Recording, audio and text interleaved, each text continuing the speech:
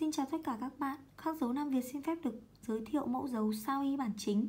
Sao y bản chính là mẫu dấu được sử dụng phổ biến trong các văn bản sao y chứng thực hay là trong các văn phòng công chứng. Mẫu dấu sao y bản chính gồm có dòng thứ nhất là sao y bản chính và dòng thứ hai là ngày tháng năm. Để có thể điền ngày tháng năm sao y văn bản rất là dễ dàng và thuận tiện. Mẫu dấu sao y bản chính có giá rất hợp lý từ 90.000 cho đến 110.000 Các bạn đã có thể sở hữu một mẫu dấu rất tiện dụng và đẹp mắt như thế này.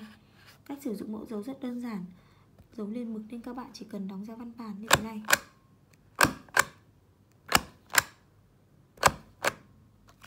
Chỉ với thao tác nhanh gọn như vậy, Chúng ta đã có hình ảnh dấu rất sắc nét. Hãy liên hệ Nam Việt để sở hữu con dấu tiện dụng này nhé.